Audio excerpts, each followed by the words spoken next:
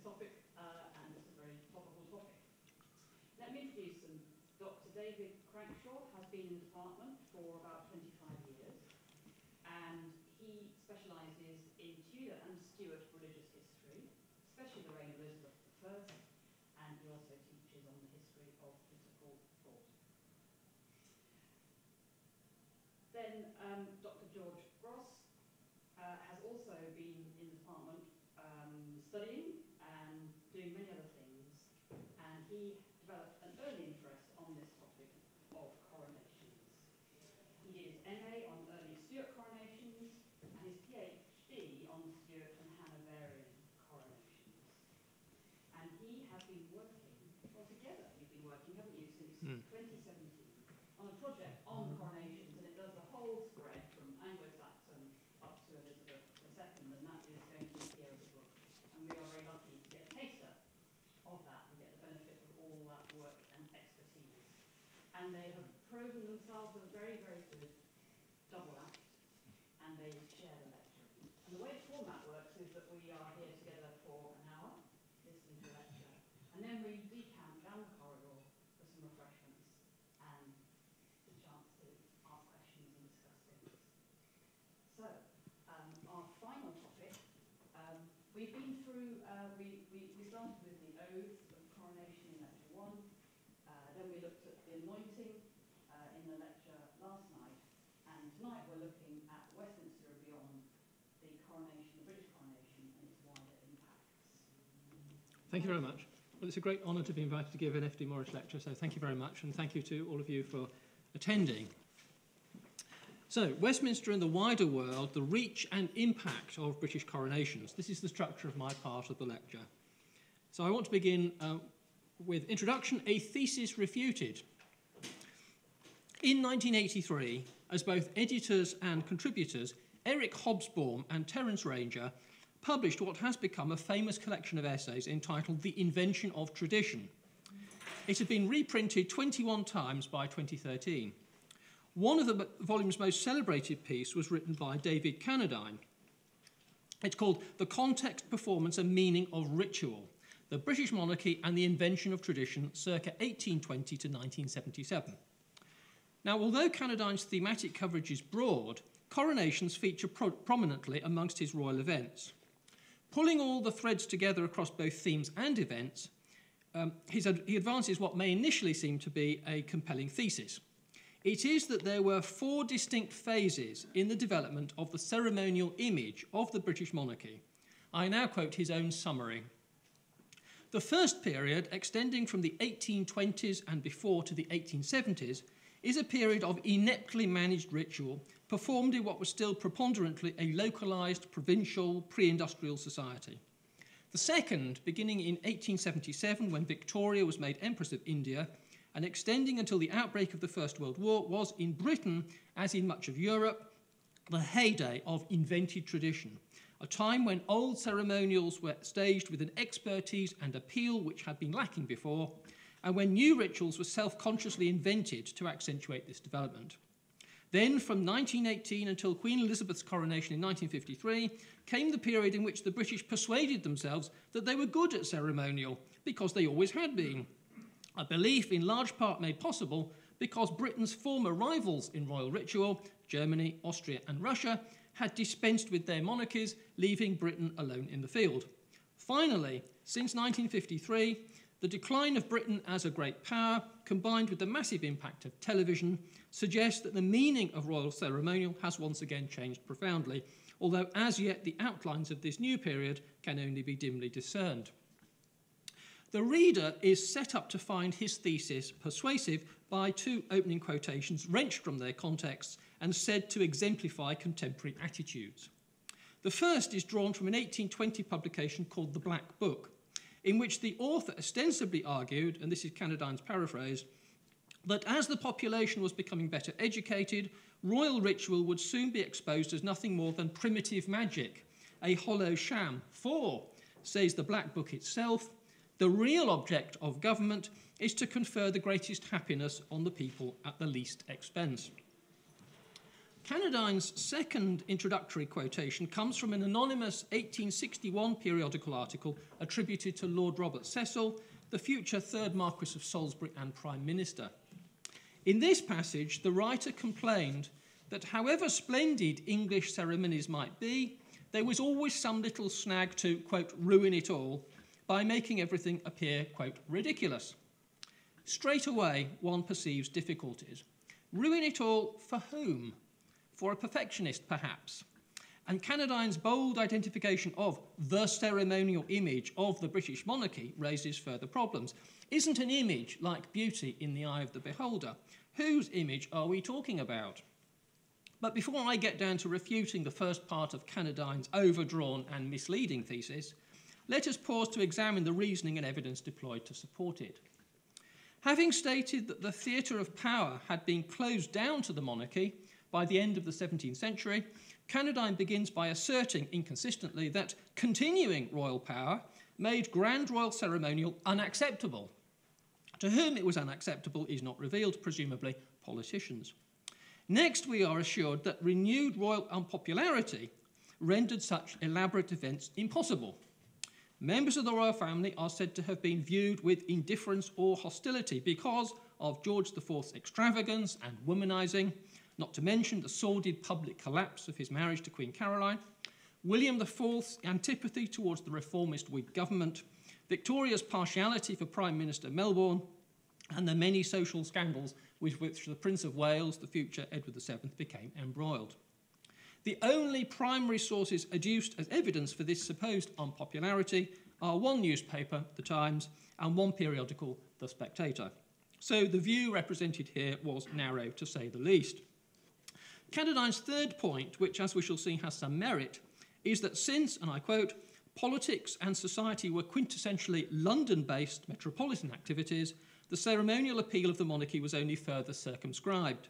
For between the age of Wilkes and the age of Chamberlain, the national influence of London was relatively restricted as provincial England reasserted itself.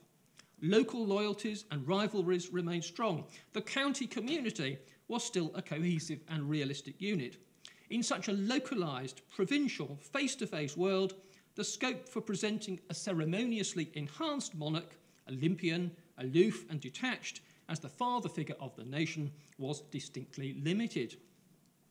However, the provinces and the metropolis were never hermetically sealed from each other, as Cannadine implies. Has he forgotten the politics of the country house party? And of course, the London social scene was, well, seasonal. Parliamentarians and socialites did, on and off, go home. Thanks to its alleged endemic hostility to the institution, our analyst proceeds to identify the press, not only metropolitan but also provincial, um, as a barrier to the development of a monarchy enhanced by ceremonialism. Moreover, the lack of pictures prior to the advent of cheap pictorial publications did not help, he insists, making even the greatest of royal ceremonialists something of a mystery to all except the most literate and wealthy. Clearly, this is to discount the detailed word pictures of an army of dedicated journalists and the non print technological in innovations that brought coronations vividly to life for ordinary people. For example, in the early 19th century, as Jeremy Brooker and his colleagues explain, I quote, touring panoramas became increasingly common as moving image exhibitions. Unlike the 360 degree version, moving panoramas were scrolling canvases that were portable and could be wound across a stage. The coronation of George IV was the first to be taken up by the panorama form. As for Victoria, a panorama of her coronation could be found slowly wending its way from Dublin, where it was resident from October to December 1838, to Bristol and then on to Exeter, exhibiting there from May to September 1839. It was still exhibiting in Leeds in March 1842, nearly four years after the event. Yet Cannadine, ignoring that kind of evidence, ploughs on. Under these circumstances, he declares sententiously, great royal ceremonies were not to be not much shared uh, corporate events as remote, inaccessible group rites performed for the benefit of the few rather than for the edification of the many. Remote and inaccessible, those are ideas to which I shall return. When Cannadine introduces the fifth aspect, the prevailing state of transport technology, one perhaps assumes that pertinent remarks about the ease or difficulty with which sightseers might reach the capital are to follow. But no, his interest is limited to how members of the royal family got about and the extent to which their carriages became fashionable, matters tangential to the overall argument. The sixth aspect is national self esteem, such that competition with foreigners was unnecessary. The certainty of power and the confidence of success meant that there was no need to show off. An exaggerated claim for which the only supporting evidence is Sir John Summerson's 1971 swipe at mid 19th century governments um, and their parsimony over new public buildings. In any case, moving on to the seventh aspect, London, avers Cannadine, was ill suited to be the setting for grand royal ceremonial. It had nothing to compare with what was going up in Paris, Rome, St. Petersburg, Vienna, and Washington. But how many English folk were in a position to make unfavourable comparisons at first hand? Only a tiny fraction who were exceptionally well travelled. Were the architectural adventures of those cities reported by the press here? I wonder. If country bumpkins, as Cannadine all but calls them, could barely summon up interest in metropolitan doings, or so he thinks, then they're hardly likely to have been avid for news of Haussmann's exploits over the Channel. Ignorance is bliss.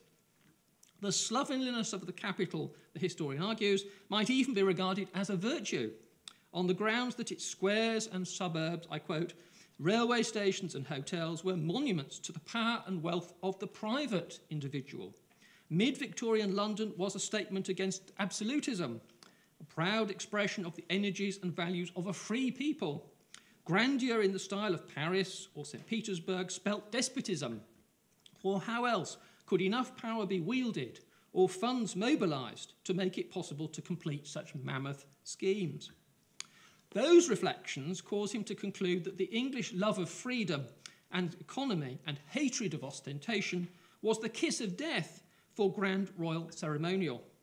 But wait a minute. What about this cartoon of 1831, ironically entitled A Cheap Coronation for the Good of a Trading Community? Wearing patched clothes and holding a ladle instead of a sceptre, William IV is about to be crowned by Lord Grey with a candle extinguisher inscribed, an extinguisher to put out the splendour of royalty. Cannadine's point can be turned on its head. Private enterprise welcomed royal ostentation because it did very well out of it. Finally, the relevant personnel, he contends, were simply not fit for purpose. They could not cope with routine religious services, let alone grand ceremonies. Successive masters of the king's music were undistinguished, cathedral choirs and that at the abbey were shabby, mediocre, and unrehearsed, while the clergy, lacking in taste, were either indifferent or hostile to ritual. As the foregoing discussion indicates, much of Cannadine's reasoning is unconvincing and his proof thin. But I now wish to highlight a serious methodological flaw Endowed, like all historians, with the benefit of hindsight, he has, unfortunately, fallen into the trap of presenting a deeply teleological account. For what is Cannadine really saying? In essence, he's saying that the royal ceremonialism of Phase 2, which saw the exuberant invention of tradition, was both impressive in itself and a runaway success. To put it crudely, things got better. Yet, because things got better, he supposes that they must have been irredeemably bad beforehand, with various consequences. Pre revisionist scholars of the English Reformation made the same mistake. The arrival of Protestantism in the early 16th century must have meant that the late medieval Roman Catholic Church was spiritually moribund, its clergy corrupt and incompetent, and the laity disenchanted. All that has been exploded. Similarly, in assessing the performance and impact of royal ritual, it is wrong to judge the period from the 1820s to the 1870s, as Cannadine does, by the standards of later periods. Establishing by what criteria the phenomena of the first phase ought to be measured would be a worthwhile exercise, but at its heart must be some safeguard against anachronism, the fatal sin of which Cannadine is guilty in his slick formulations. In short, we should take a methodological leaf out of the revisionist book and evaluate royal ceremonialism before the putative watershed in its own terms, free from the condescension of posterity. Two, stuff happens. In pursuing that agenda, let us first dispose of the notion that 19th century coronations were uniquely marred by ineptitude. Mistakes there probably always have been. In 1714, the allocation of seats for peers' wives was insufficient. Countess Cowper had to seek a place on one of the bishop's benches, only to be pushed off that by Lady Nottingham. She was forced to sit on the pulpit stairs, but became thankful for her the latter's, quote, ill breeding, because I saw all the ceremony, which few besides did, and I own I never was so affected with joy in all my life. It brought tears into my eyes, and I hope I shall never forget the blessing of seeing our holy religion thus preserved, as well as our liberties and properties. In 1761, Horace Walpole wrote that the peeresses wandered about Westminster Hall indecently in the intervals between the forming up of sections of the procession to the Abbey. After the coronation service, he said, during the banquet, the champion's three mounted associates were, he considered, woeful. When Lord Talbot, barely in control of his horse, managed to exit, said Walpole, the spectators clapped, a terrible indecorum, but suitable to such Bartholomew fair doings. On arriving at Westminster Hall in 1821, the, the artist Benjamin Haydon found tipsy doorkeepers and quarrels breaking out. Yet he rhapsodized about what ensued. I quote Every movement, as the time approached for the king's appearance, was pregnant with interest. The appearance of a monarch has something in it like the rising of a sun. There are indications which announce the luminary's approach a streak of light, the tipping of a cloud, the singing of the lark, the brilliance of the sky till the cloud edges get brighter and brighter, and he rises majestically into the heavens. So with the king's advance. A whisper of mystery turns all eyes to the throne. Suddenly, two or three rise, others fall back. Some talk, direct, hurry, stand still, or disappear. Then three or four of high rank appear from behind the throne. An interval is left. The crowd scarce breathe. Something rustles, and a being buried in satin, feathers, and diamonds rolls gracefully into his seat. The room rises with a sort of feathered silken thunder. Plumes wave, eyes sparkle, glasses are out, mouths smile, and one man becomes the prime object of attraction to thousands. The way in which the king bowed was really royal. As he looked towards the peeresses and foreign ambassadors, he showed like some gorgeous bird of the east. One of those foreign envoys was the American Richard Rush. He tells of a near disaster in the Abbey. As it was being carried to the altar, the crown slipped from the hands of Lord Anglesey, but he dexterously recovered the precious object before it fell. Rush was forgiving. The gallant Marquis only had one leg, having lost the other at the recent Battle of Waterloo. For the diplomat, the incident was trifling compared to the splendour of the occasion. His party had reached Westminster Hall at about 8 a.m. Quote, the morning was fine, which made the equipages and troops a brilliant sight. Even at that early hour, windows and front doors were crowded with people, looking at the carriages of the ambassadors and nobility with richly dressed persons inside as they passed in procession to the grand pageant of the day. Rush was much struck by the action accompanying the moment when George IV was, was crowned. That of each peer putting on his coronet at a given moment, a movement done simultaneously and with military exactness and effect. It took us by surprise, seeming like a hundred coronations all at once. He waxed lyrical over the banquet, and especially the Duke of Wellington's dramatic appearance as one of the champion's mounted supporters. Nowhere was he more eyed than from the box where sat the assembled ambassadors of the potentates of Europe. Judging from uh, opinion in that box, there was nothing in the elaborate grandeur of the day to rival this scene. It was the inherent preeminence of a great man, exalting moral admiration above the show of a whole kingdom. I got home from it all by nine o'clock in the evening. Many parts, many were detained until midnight, and illumination followed. In divers parts of the town, fireworks were let off, balloons sent up, cannon made to roar, bells to ring, the theatres were opened gratis, and the whole night went off amidst the general huzzas of John Bull.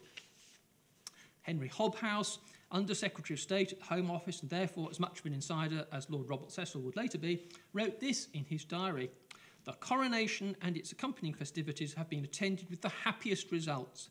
The day was beautiful, everything was conducted with the best order, no accident of the least importance occurred, and the public mind, which was previously well disposed towards the ceremony, was still further gratified by the opening of the theatres and the ascent of a balloon from the park, and the exhibition of fireworks there and on the river at the public expense.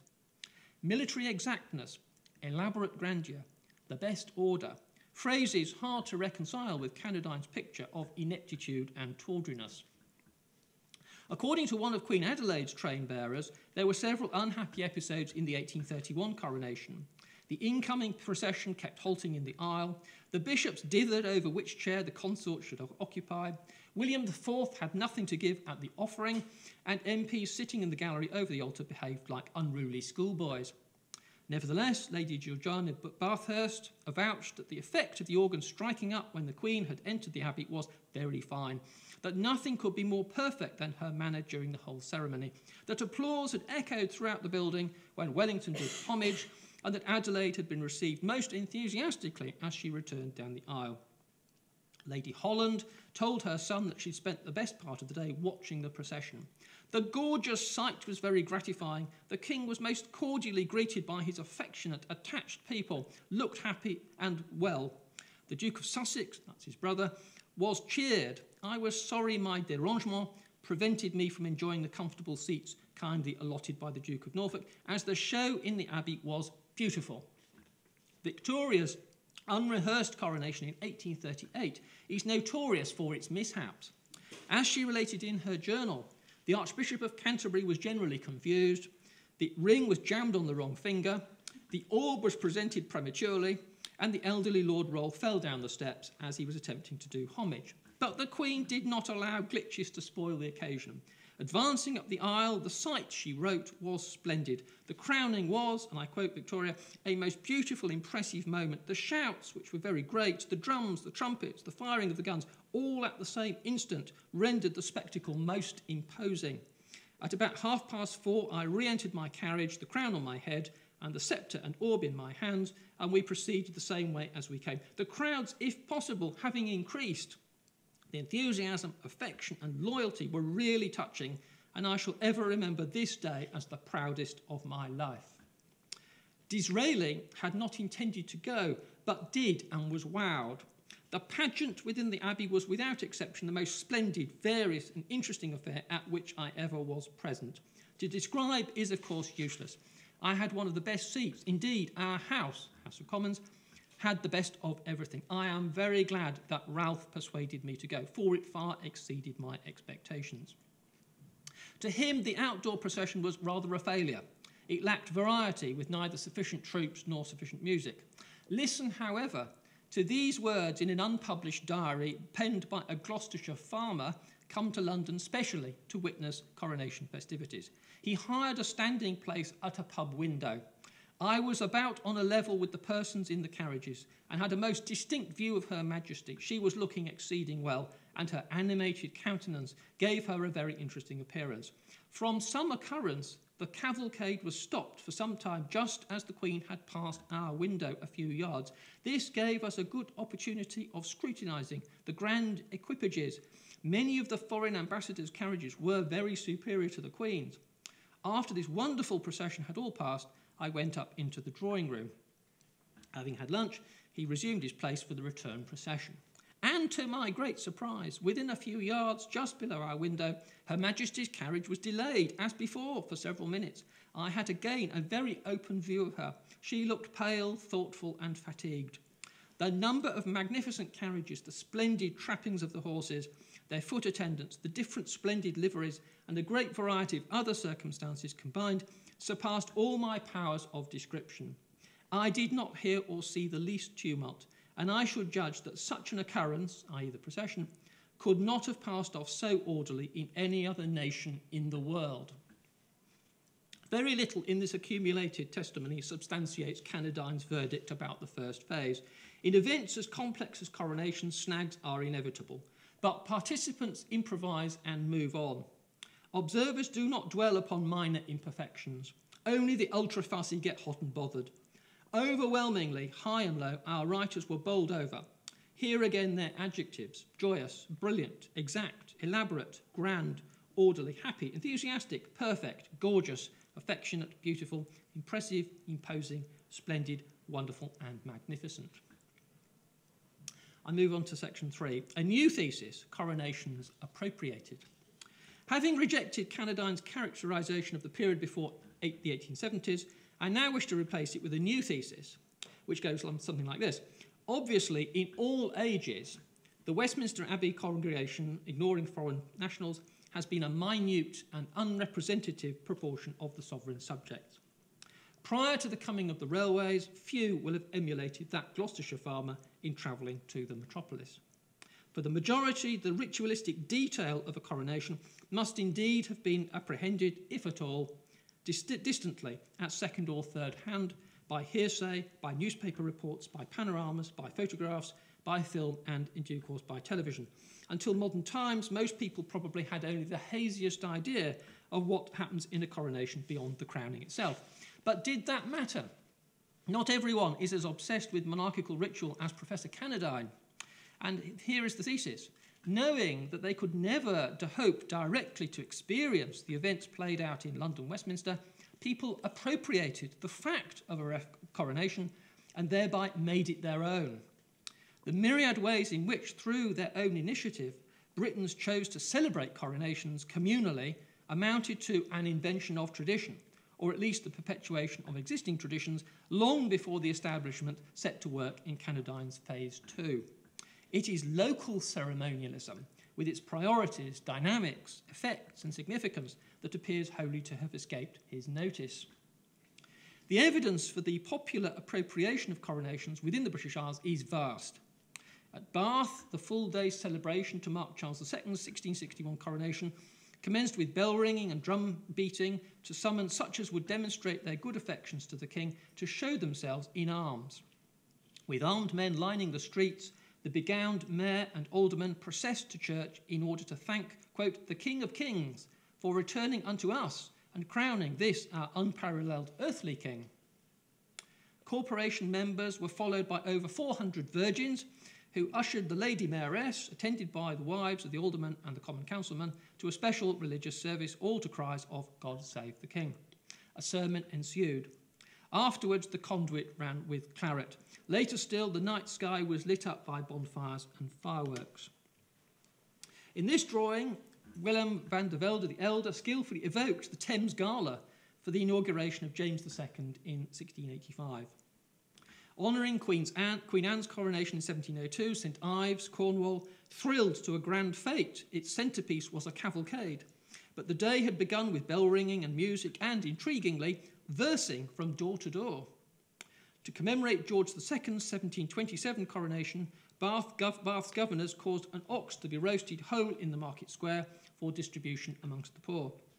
Manchester pulled out all the stops at the time of George III's coronation in 1761. There was an enormous fancy dress procession constituted by representatives of the principal trades. The tailors, woolcombers, worsted weavers, shoemakers, dyers, joiners, silk weavers, and hatters. Some of the shoemakers appeared as Robin Hood and his men. In the evening, the town was illuminated and a ball thrown for more than 700 lucky Mancunians. As Griffin remarks, local worthies, acting privately if they had government posts, were often responsible for organising and financing small town events. At Castle Cary, Somerset, the 1761 coronation celebrations were paid for by Messrs. Creed, Hindley, Potts, and Duck. Bristol's grand civic procession on the occasion of George IV's coronation in 1821 was brilliantly captured by a watercolourist. Here, uh, here is one portion. There are five sheets um, all representing the procession. William Somerton published an accompanying poem. That same year, people calling themselves the Bards of the Tyne wrote coronation songs printed at Newcastle in 1822. Coinciding with Victoria's inauguration, a large fair depicted here opened in Hyde Park, where cheap paper portraits of the Queen could be bought advertised in this flyer. And I've made a comparison with modern values. Far away in Chester, between 2,000 and 3,000 children were feasted with roast beef and plum pudding. Arguably, the most spectacular municipal dinner of 1838 was to be seen in Cambridge, illustrated here, to the strains of an orchestra mounted on a stage at the hub, an astonishing 15,000 diners. That's 12,000 poor citizens, 2,700 Sunday school children, and 300 Sunday school teachers sat at long tables radiating like the spokes of a wheel across almost the entirety of Parker's piece. Common in the early 20th century, when Britain could boast composers of international standing, were coronation themed concerts. For its commemorative programme in 1911, Builth Wells, Brecknockshire, chose Edward German's Coronation March and Frederick Cowen's Coronation Ode, while Devizes, Wiltshire, selected Edward Elgar's Coronation Oath, Ode and Frank Bridges' The Flag of England. One could go on. The local appropriation of coronations occurred internationally. For example, the English consul at Smyrna, now Izmir, on the Aegean coast of Anatolia, invited expatriates to his home for celebrations at our own charge to mark Charles II's coronation in 1661. Some, though, had already arranged to hold festivities elsewhere. Nevertheless, when Lord Winchelsea's secretary fortuitously arrived in Smyrna that same day, as he related to his master, he had immediately been bidden to join the consul's party and found that the latter had put on a very handsome entertainment for the company, while the factors' guns had made the whole town aware of the rejoicing. Whatever the English colony in Leghorn or Livorno did to celebrate George I's coronation in 1714 remains to be seen, but the occasion was magnificent enough to have inspired an anonymous Italian poem in tribute, printed as a broadside on fine red satin. Information about George IV, July 1821 inauguration, inevitably took some time to cross the Atlantic. Yet when it did, the British residents of Boston, Massachusetts, sent via their consul a humble address dated 1st October, congratulating the King on the recent auspicious and glorious event of Your Majesty's coronation. And the address without signatures was published in London in December. In a superb article, Bonnie Huskins has exposed the reinforcement of class distinctions in the 1838 coronation festivities in two spots of eastern Canada. The Common Council of St John, lying on the coast of New Brunswick, allocated £115 for an exclusive corporation dinner. Although much more money, £332, was set aside for outdoor public feasts, expenditure per head in that direction must have been considerably less. The fare consisted of roast ox, half a pound bread loaves, plum pudding, and ale. A newspaper reported that Carlton's feast, Carlton is a district of St John, produced, quote, an effect on the people calculated to call forth the best feelings towards the parent state and our youthful and maiden queen. The Common Council's philanthropy extended to the provision of a special dinner in the jail. Unsurprisingly, given the era's moral reformism, there were objections to the availability of alcohol. They were defeated. Having said that, the St. John Temperance Society laid on a tea and coffee soiree as a suitable alternative. Halifax, Nova Scotia would not be incorporated until 1841. Its coronation festivities were therefore organised and funded by a combination of imperial and provincial officials and private citizens. Accessible only to the, to the upper crust, a marquee was erected on the common where Victoria's health was toasted with the utmost public in, possible enthusiasm. The other end of the social scale, the inmates of the poorhouse, the jail, and the bridewell were treated to a celebratory meal. One newspaper regarded what Huskins calls the voluntary offerings of the elite during Halifax's coronation jamboree as the contribution of all whom fortune has blessed with the means of bestowing happiness to others, adding that such gifts, quote, testify to the whole world how highly Nova Scotians value the privilege and honour of belonging to the British Empire, having a direct interest and concern in the grand constitutional ceremony which consecrates Victoria our Queen. The story of local appropriations was no different in the 20th century. In April 1902, for instance, Bermuda's House of Assembly sent up to its Legislative Council a resolution for £1,300 to be defrayed on celebrations due to happen in these islands in connection with the coronations of Edward VII and Queen Alexandra. A film of the 1911 coronation procession was shown in Japanese jubilations 17 days after the event. Photographs testify to parallel festivities in Belize a children's parade, and the march past of a military band. Turning to Malaya in 1937, schools participated widely in commemorative ceremonies. Moreover, the Tamil headmaster of one English language school in Malacca used the distant coronation as an opportunity to essay a definition of Britishness. To quote Lynn Hollen Lees, he found it compatible with ethnic diversity and with the equality of races. Here is the title of his pamphlet published in Kuala Lumpur The Coronation Souvenir of the Settlement of Malacca, undertaking with a view to foster an everlasting interracial harmony and amity among the heterogeneous folks of this ancient settlement. What a noble sentiment. As presented by one of their own, concludes Lees, the Malaccan elite was proudly Asian and British simultaneously.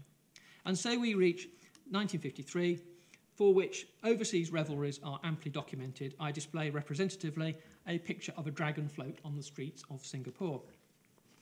So, to conclude, whether they took place within the British Isles or abroad, there is no hint in the sources that the celebrations just described were instigated by Whitehall nor that plans ever underwent government vetting.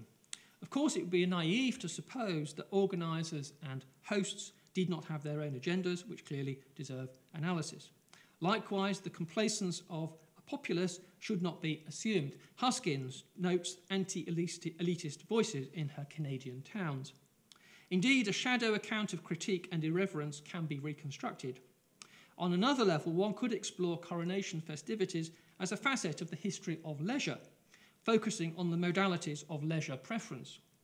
Nevertheless, on the whole, the material deployed here indicates the widespread incidence of diverse communities freely making of coronations what they would, what they would. Inventiveness and the exuberance flowing from local pride came to the fore. Hierarchy endorsing ritual, certainly, yet also the joyous letting off of steam. Taking the long view, perhaps an inverse correlation can be posited that as Cannadine's ceremoniously enhanced monarchy has flourished, aided and abetted by television and latterly the internet, so has the energy been sapped from what we might term the genuinely ancient tradition of DIY coronation commemoration. The accession now of a much less popular sovereign naturally has something to do with it too, but compared to 1953, how many towns and village events will be unfolding on Saturday.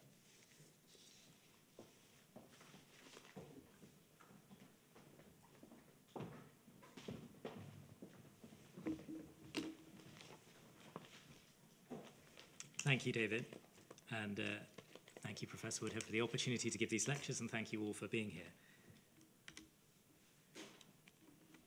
It would have been remiss of us not to cover the impact of coronations and other such royal events given the extraordinary events of last year and, of course, just a few days' time, what we often refer to as the ripple. Last year, I was forwarded an article in The Economist entitled The Platinum Jubilee Land of Hops and Glory. The argument being that Britain is celebrating jubilees more often, but less confidently. The piece lacked proper historical context, data, or very much at all. It was not written by Cannadine, but it covered the important point of impact. How do we measure that? And why does any of this matter? It was, of course, also written before the events of the passing of Her late Majesty the Queen and the news of the forthcoming coronation. From 17th century diaries to the present, people cared and continue to care about these events. We can't look into people's minds, but we can read what they've written and what was spent, and study the statistics on viewing figures for royal spectacle. When we think back to September, I can picture Green Park and parks up and down the land and trees around the country and see that a monarch in the 21st century meant something very profound to people. Today, the Mall is already heaving with those hoping to get the best spots for the occasion. And just as there's always been, we have protesters and those not in favour of these events making their voices heard. It's often forgotten that in 1714, there were major riots following the coronation of George I. Not in my name is not a new phrase.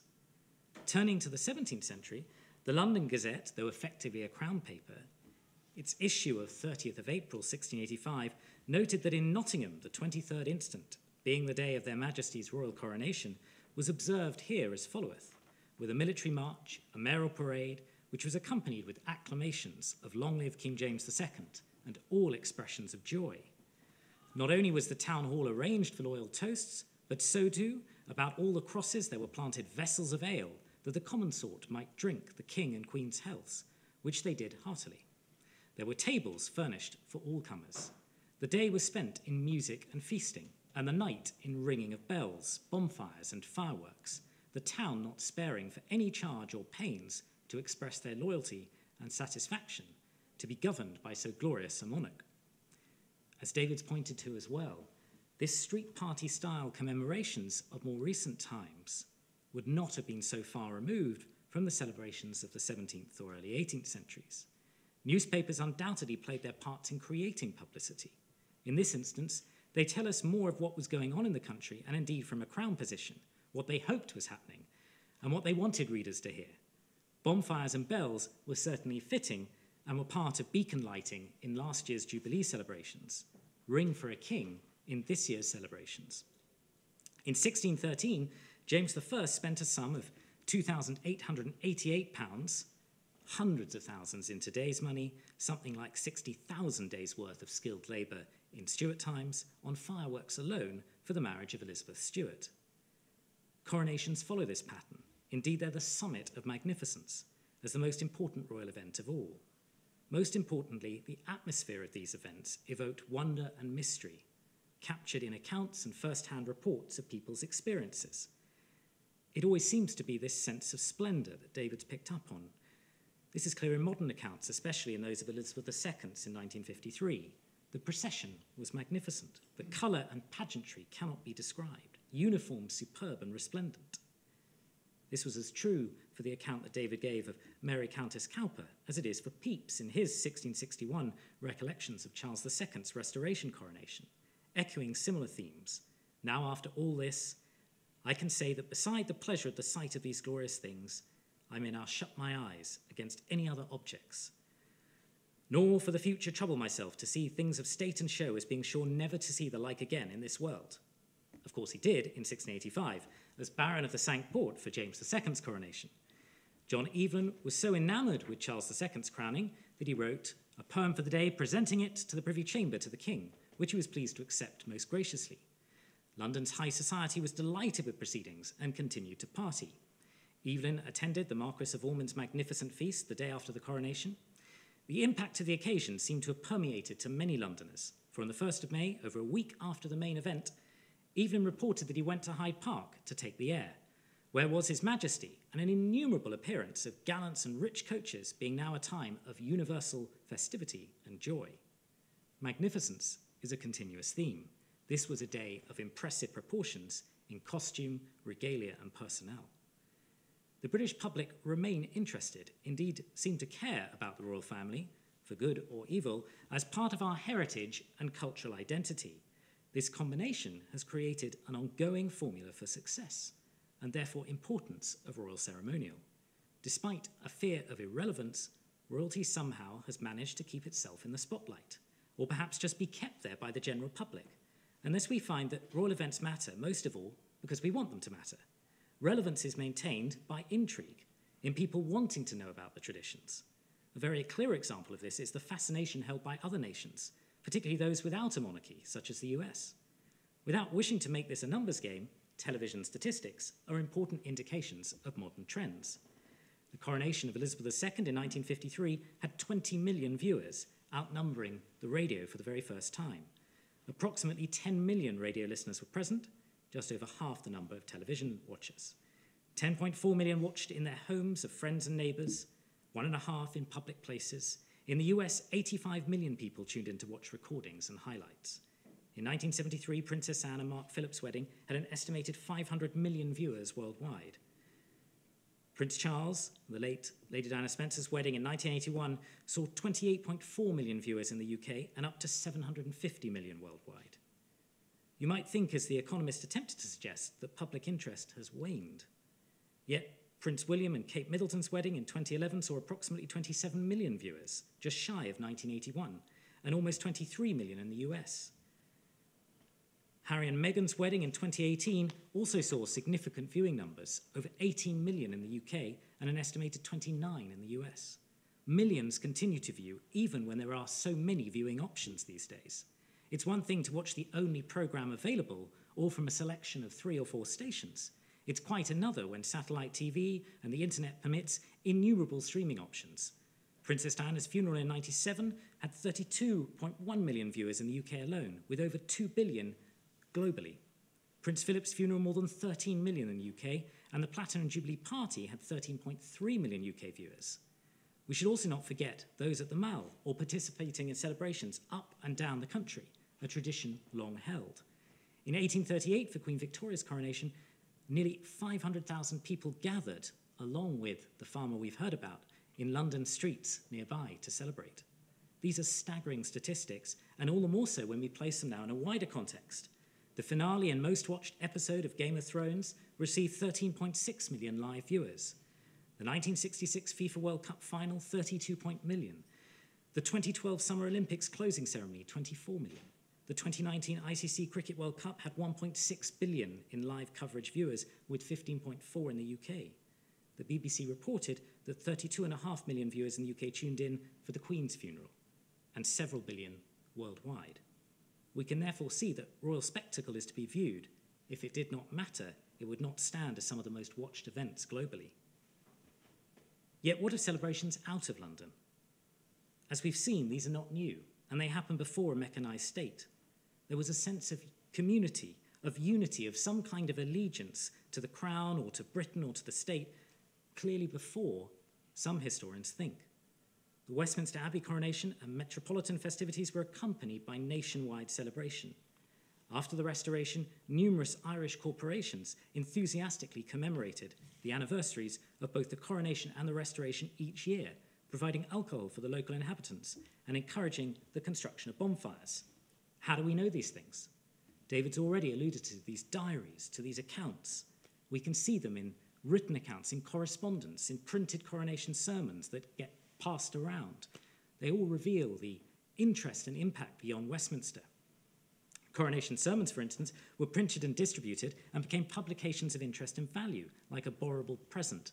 And the luxury of exotic tea in the early 18th century. On the 1st of May 1702, Sir Thomas Rawlinson wrote to John Seeley in London, I've here sent you some Bohea tea, an oolong tea roughly equivalent to Lapsang Souchong, as a present which I desire you to accept. I know it to be good and very wholesome, and with it the sermon preached at the coronation of Queen Anne, which you may lend, but not give it away, but to keep it. So, to illustrate this further, this reach, I want to end this lecture series on a less dry note. Let us examine the impact through the prism of wine. I might easily have picked tea or spices or any of these other material things. Wine has been a prominent feature of British coronations for centuries, an ever present element from the earliest records we have in Anglo Saxon tradition to the Westminster Abbey coronations of 1066 onward. For one, it's been part of the sacramental religious side of the ceremony, as the accompanying element to the bread, the bread and the wine, featuring before the Reformation in the Mass and then latter in the Eucharist or Holy Communion of a Protestant Church of England tradition. Secondly, it's been at the core of the festivities that followed the coronation ceremony, as part of the royal banquet or feast. The carafe of wine was a focal point of the coronation banquet of Henry the Younger, as you can see there, just up there. In addition, wine has also been consumed in vast quantities in celebrations up and down the country, and those that took place abroad connected with coronations. When we think of great events, of celebrations, of royalty, of pomp and ceremony in the UK, bottles of bubbles, or two, are never far away, and coronations have had champagne at the very heart of the drinking experience. Champagne, of course, comes from Rheims in France, the crowning place of French kings, as discussed yesterday. It's therefore perhaps the most suitable ointment for feasting. Traditionally, the coronation banquet took place in Westminster Hall, following the coronation ceremony in Westminster Abbey. Westminster Hall is the oldest building connected with the Palace of Westminster and played a major role in British history as the home to legal courts of the country before the Royal Courts of Justice, hosting famous trials and speeches along with sumptuous feasts. In recent history, it's been the focal point for the laying in state of monarchs, as seen for the late Queen. The last great Westminster Hall banquet was 1821 for George IV. The lavish nature of the occasion did not win the monarch much favour with the public, and this ancient event was discontinued in the traditional setting of Westminster Hall. For 1902, Edward VII's ill health delayed the coronation from the 26th of June to 9th of August, following a pre coronation feast that was thought to be so lavish that it might have brought on the king's illness. He had appendicitis. On the 9th of August, feasting took place in Buckingham Palace, and whilst much of his banquet had long since been given away to charity, two and a, two and a half thousand quails had been given to the poor in Whitechapel, he did not go without, and it was said that there was still enough wine and champagne to float an entire fleet of the Royal Navy's battleships. Elizabeth II's coronation menu provided the nation with a new dish that of coronation chicken. And there were celebratory luncheons at the Guildhall and two coronation banquets in the ballroom at Buckingham Palace on the 3rd and 4th of June 1953. What of champagne? Champagne was at the heart of Edward VII's coronation banquet feast in 1902, a sovereign with a passionate interest in Parisian custom, indeed everything French. The Epicurean monarch made sure his guest enjoyed two options, a Mumm 1892 and a Pommery 1893. Moving to the late Queen's coronation in 53, perhaps with Sir Winston Churchill's enthusiastic support, the Assemble enjoyed his favourite Pol Roger 34 vintage. Churchill's hand seems almost certainly likely here. Following liberation of France, he would have been served the 1928 in Paris, and according to his son Randolph, his father brought up all of the 1928 to get his hands on, and when that ran out, he drank out the entire plentiful supply of 34. Elizabeth II's second reception also included a Krug 1945 option. Then there were champagnes of coronation feast celebrations for Edward VII and Elizabeth II, showed this classic indulgent display of consumption and excess. For one, the excess of the Edwardian, the other, trying to create a new Elizabethan age on the back of the Festival of Britain, but of course, rebuilding Britain after the Blitz and London post war. Whilst we've begun in the drinking order of more modern times, we turn our attention further back in history to Riesling wines, or what were often referred to as Hock or Rhenish wines. The name even given gives rise to glasses specifically named Hock. Hock is the traditional generic English term for white or Rhenish wines from the Rhine regions of Germany in general. It's a contraction of Hochheim on the River Main, just west of Frankfurt. Whilst Riesling is one of the most divisive of grapes and wines, a Marmite wine in the 21st century, our royal forebears and their wider citizens had no such difficulty in placing Hock wines firmly within a coronation context. One of the most recorded of early coronation celebrations was that of Anne Boleyn in 1533, and unique in an English context in being the independent crowning of a queen consort. Whilst one might have anticipated a strong Rhenish wine presence to the Tudor court for the arrival of the German Anne of Cleves in 1540, Anne Boleyn had no such Germanic links. Indeed, she's well known for her time at the French court. Nevertheless, her coronation saw a veritable overflowing of German wines, indicating a general availability and popularity in England. And we have a remarkable surviving description of wine fountains from the city of London in 1533, flowing not just for royal observers and for the elite, but for the populace. At Gracechurch Corner was erected a Mount Parnassus with the fountain of Helicon. It was formed of white marble. Four streams rose on high and met in a cup above the fountain, which ran copiously till night with Rhenish wine. At the great conduit in Cheap, a fountain ran continuously. At one end, white wine, the other claret, all the afternoon. That's 1533. Taste vary, it was not so much that people drank wine or beer, the grape or the grain in the early modern world, but rather that early modern citizens of Tudor London consumed substantive quantities of both. Moving to the 17th century in the Stuart world of the Restoration, we find that Rhenish wines are still firmly in vogue. Robert Spencer, the second Earl of Sunderland's cellar, records of 1666 included 6%. This made up an even larger percentage of his white wine collection. We'll return to the Earl of Sunderland later. In total, over half of his wines were French, but a real reasonable percentage German. The diarist Samuel Pepys watched and recorded in detail the coronation of Charles II in 1661, and as mentioned, he was a baron of the Cinque Ports, and he's there circled. Here, Francis Sandford's work was deliberately designed to capture how people actually looked. Each person is drawn as their face was meant to look. His diaries include this is Pepys, at least 29 entries related to Rhenish wine, or perhaps more importantly, a wine tavern or shop. By contrast, Claret only makes up 13 entries. In all, he has 335 entries devoted to wine. It seems that Pepys had a passion for another Marmite item, that of the anchovy, as a food to be paired with his German drinking sessions. Thence, with my cousin Roger Pepys, it being term time, we took him out of the hall to Prior's, the Rhenish winehouse, and there had a pint or two of wine and a dish of anchovies, and bespoke three or four dozen bottles of wine for him against his wedding. The diarist John Evelyn also recorded a similar interest in the same wine shop on Cannon Row in the city of Westminster in the 1660s. Digressing briefly, but in the context of trade and commerce, we turn briefly to how a coronation united these two great cities of London. Whilst today London is an all encompassing term, in the medieval and early modern eras there was a clear distinction between Westminster and the City of London.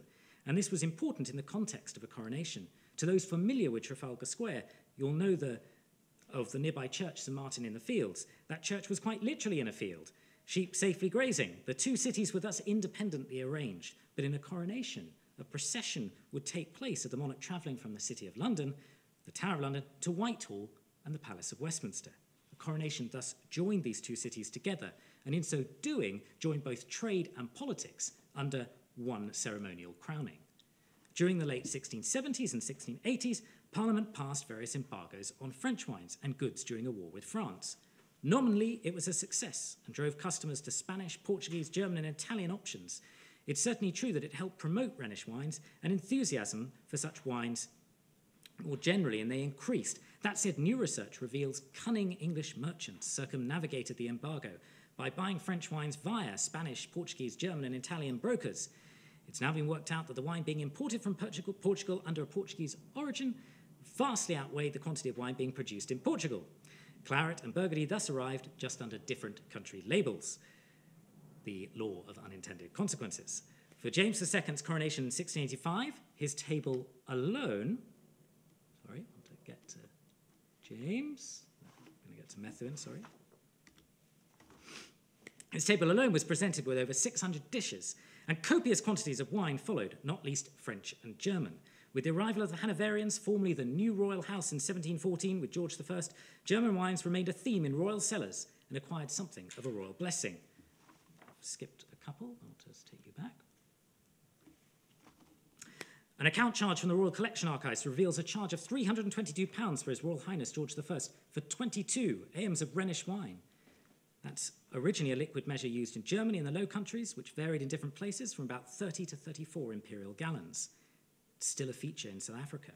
To give an idea of scale for these feasts, George II's coronation banquet in 1727 that made famous Zadok the priest, his coronation, the music, was lit by over 2,000 wax candles.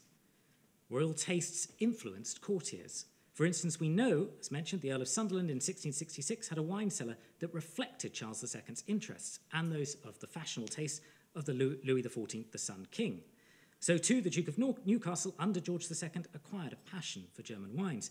In 1748, George II sent his advisor, the first Duke of Newcastle, to Hanover to develop better how the two dominions could work together.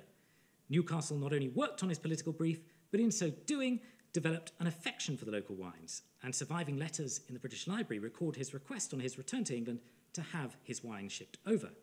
Perhaps unsurprisingly, Georgian Hanoverian monarchs liked German wines and promoted them. With Queen Victoria's marriage to Prince Albert of Saxe Coburg and Gotha in 1840, the United Kingdom has enjoyed a familial yet complicated relationship with Germany that's often difficult to understand. The same can probably be said about its relationship to German wines. Some English consumers prized Rhenish wines in the 1830s precisely because of their purity, lack of adulteration, and relative dryness, and decreed port for its excess of sweetness and spirit. During World War I and sugar rationing, the post war British wine consumer may have lost their affection for dry wines. Some even liked those with more age. One German wine was colloquially known as Old Hock. Yet Riesling or Hock wines were a consistent feature at royal banquets in Victorian Edwardian England, whether for Edward VII or even for Queen Elizabeth II. Both entries are somewhat surprising. Edward VII disliked much of German culture of his mother's court and adored all things French. A 1953 coronation was just a few years after the Second World War. Given that rationing was in the process of ending, and London still bore, as I've mentioned, the hallmarks of the Blitz, it's strange that this wine option is still there. Tastes and fashions often transcend politics.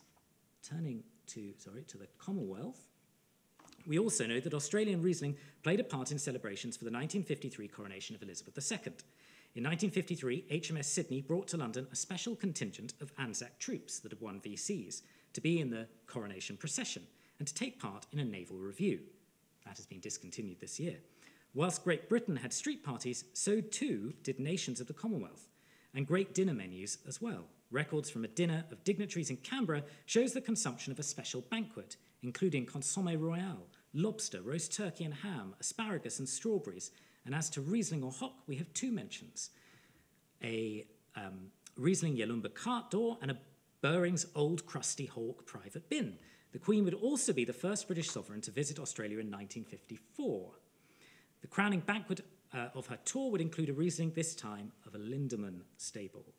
And here we have some of the celebrations 1902 in Australia. So, just as David had mentioned with Singapore, these things have a far greater reach than perhaps people have appreciated. And here was the Royal Tour banquet menu. We now turn to claret and a wine style prevalent in coronation banquets feasts for centuries. The British affection for claret's well known. British royal connections with claret goes back to the medieval age, and it's indeed the anglicised term for Bordeaux wine. In one of King John's better moves, in his coronation year of 1199, he gave Saint Emilion a royal charter in exchange for rights to the coveted local wines there. It will take a lot to improve his reputation, but this is not a bad start. How it was drunk and in what manner varied to different levels of appreciation. On the night of Charles II's English coronation, on St George's Day 1661, he'd been crowned at Scone in 1651, Samuel Pepys recorded that he drank the king's health and nothing else, till one of the gentlemen fell down stark drunk and there lay spewing. Wine fountains for the general populace to enjoy have already been mentioned in the context of Anne Boleyn's coronation, yet the concept was nothing new. In 1308, for the coronation of Edward II, a fountain in one of the domestic halls spouted red and white wine, and a spiced drink known as pimento. The red wine was almost certainly claret, during the 17th and 18th centuries, claret became highly politicised, as I've seen in that other slide, a bastion of Tory sympathy, but dangerously French and Jacobite for Whigs, who favoured the wines of Portugal.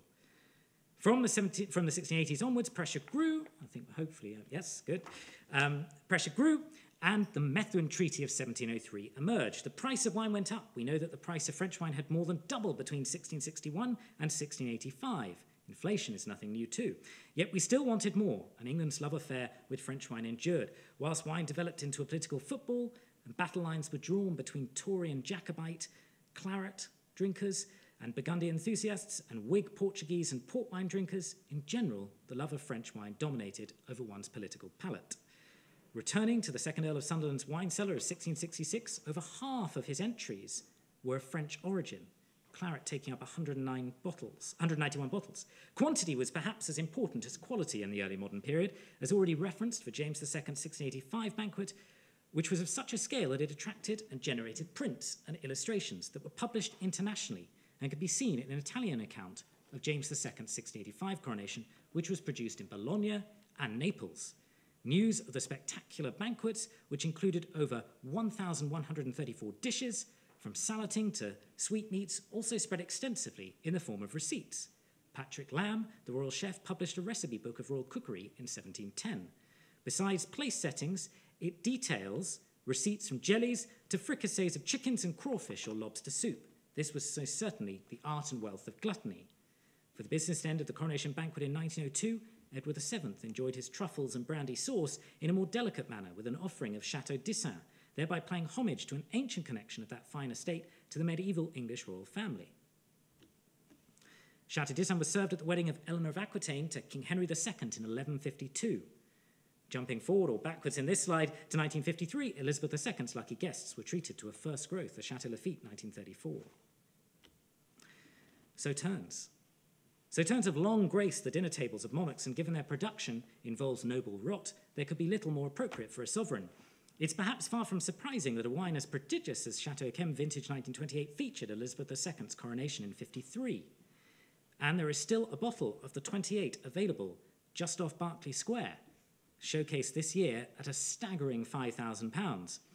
Another oft mentioned wine of royal reputation is that of Royal Tokai, a wine for Hungarian princes and ultimately reserved by the 1900s for imperial Austro Hungarian households. Shakespeare, echoing heraldic accounts of Richard III's coronation, shows that such interest in sweet wines was present there.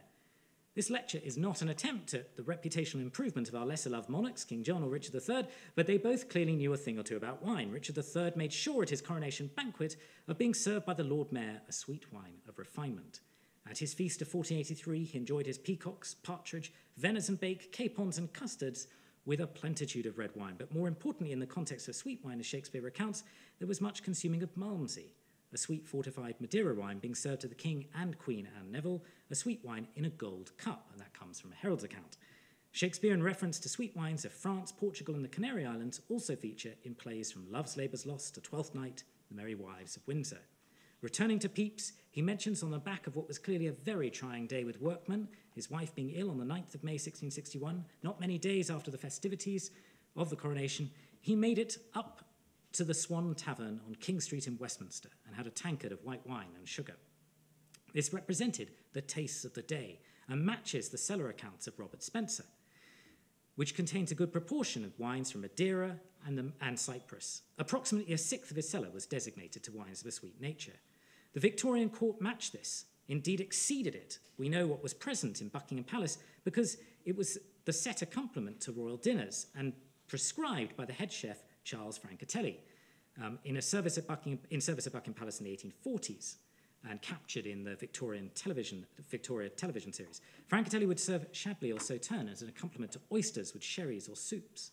In the 20th century, sauternes and fortified wines found themselves as part of coronation cocktails developed in the US, from the Brooklyn coronation for George VI in 1937 to a sauterne cobbler, a mixture of sauterne with ice or soda, an orange slice, syrup, and seasonal berries.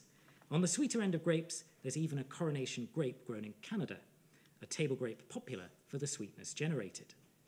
Beyond Westminster.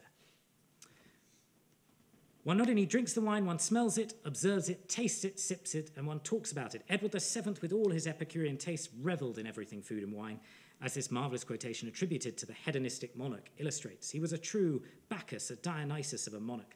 Yet what of those beyond Westminster? How do the wider country celebrate with wine and beer?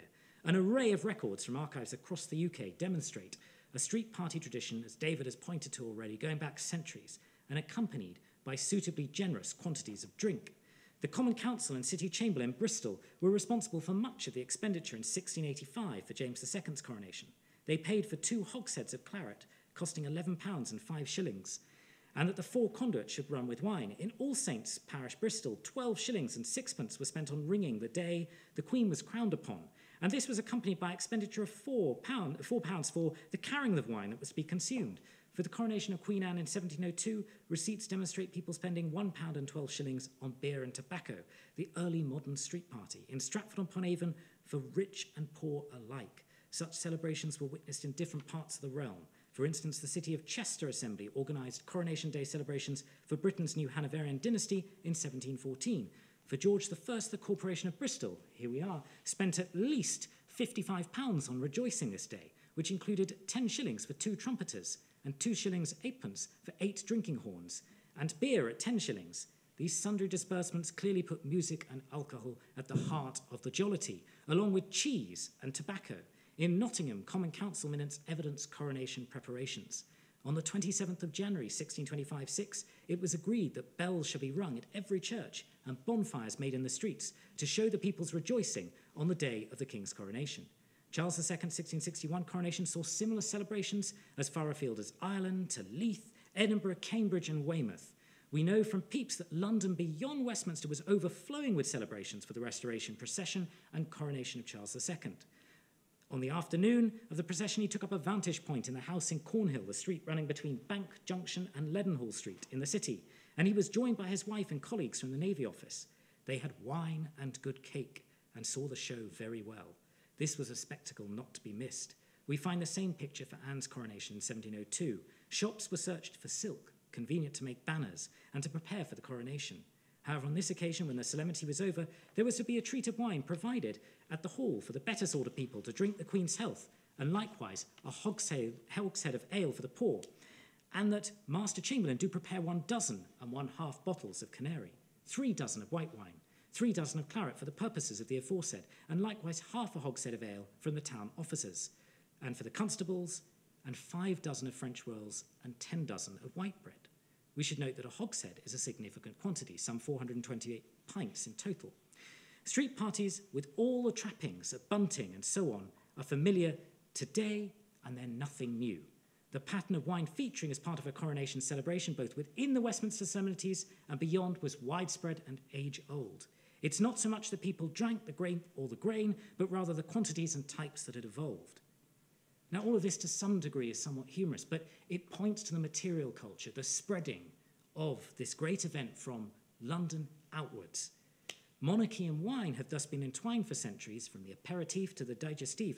They've shaped fashionable taste. They've secured the warrants for progress in the next exciting venture. These days, it might be a high Highgrove gin or English sparkling wine that will dominate the street parties of the UK.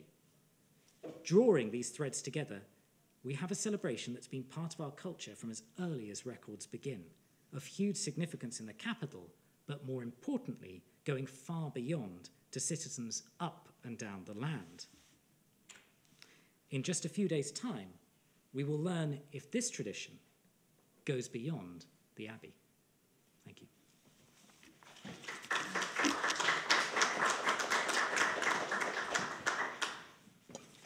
Well, um, the last three evenings we've heard, um, we've heard about political and constitutional impact.